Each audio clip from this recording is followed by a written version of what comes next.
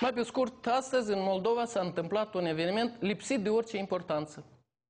De fapt, ar fi trebuit să fie unul chiar foarte important, dar din cauza guvernanțelor noștri s-a transformat într-o simplă formalitate. Vorbim despre întâlnirea guvernanților noștri cu oameni veniți de la Uniunea Europeană. Reuniunea Comitetului de Asociere Republica Moldova, Uniunea Europeană. Așa se cheamă oficial această întâlnire. De ce vă spun că nu are nicio importanță? E destul să încep cu detaliu că președintele acestui comitet de asociere din partea Moldovei este nimeni altul decât Mihai Gimpu.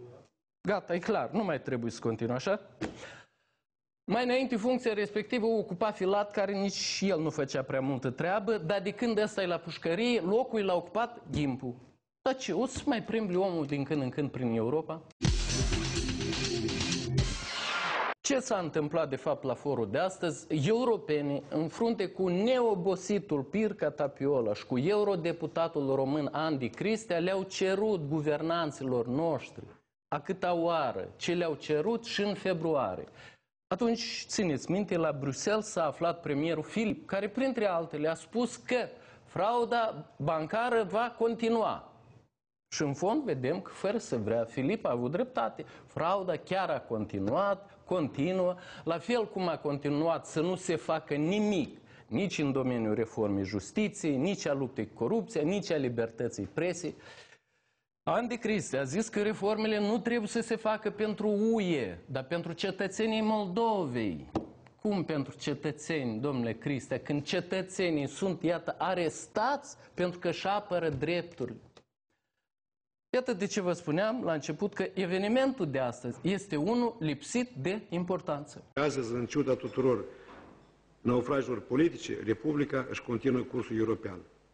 Și aceasta are loc datorită majorității parlamentare care s-a format în ianuarie curent. Are questions around and concerns around the speed of reforms.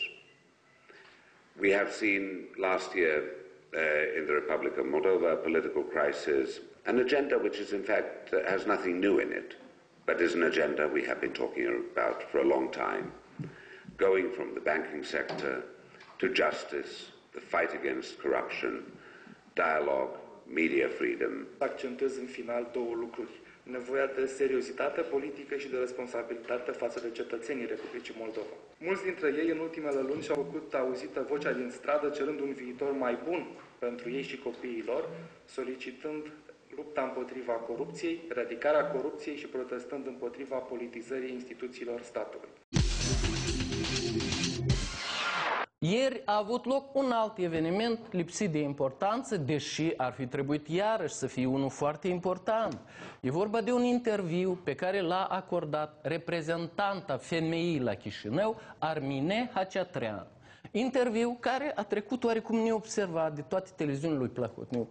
Când banditul a fost în America și a ajuns acolo la femei, televiziunile respective au trâmbițat despre asta și au dat poze vesele de acolo, fără să ne spună ce i-au zis cei de la femeie lui Plahotniuc. Ei, uite că Armine Haceatrean ne spune ce i-au spus banditului acolo. I-au spus că în sistemul bancar din Moldova lucrurile stau foarte prost, pentru că nu sunt cunoscuți beneficiarii finali ai banilor. Ca și cum i-au zis, Plahotnic, uite, tu ai miliarde în bănci, dar aceste miliarde sunt puse pe nume străine. Asta e neharașo, trebuie corectat. Dar Plahotnic și prost să corecteze. Mai departe, în interviul omului de la femei s-a mai spus că sistemul financiar din Moldova nu își poate reveni după ce Plahotniuc a furat cu ușor miliardul. La care Plahotniuc, iarăși, schimbă din umeri. Și că în Moldova politicul și juridicul se pot amesteca în sistemul bancar o hotărâre a unui păcătos de judecător, de pildă, poate răsturna o decizie a băncii naționale. Nici aici Plahotniuc nu a reacționat în niciun fel. Jaful de miliarde din sistemul bancar a deteriorat credibilitatea Republicii Moldova în fața partenerilor internaționali și a pus pe umerii cetățenilor o povară enormă.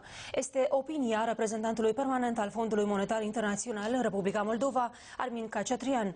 Oficialul FMI sugerează că instituțiile responsabile de supraveghere bancară din țara noastră ar fi putut preveni frauda dacă ar fi reacționat în conformitate cu rigorile legii. Mai pe scurt, după cum vedeți, asistăm la un moment de nică facere în Moldova. UE ne spune să facem cu tare, femei ne spune cu tare, iar Aldi, Plahotniuc și Filip se fac plouă. Și oare cât îi vor răbda așa europenii și americanii pe băieții ăștia, că noi nu-i mai răbdăm tare de mult.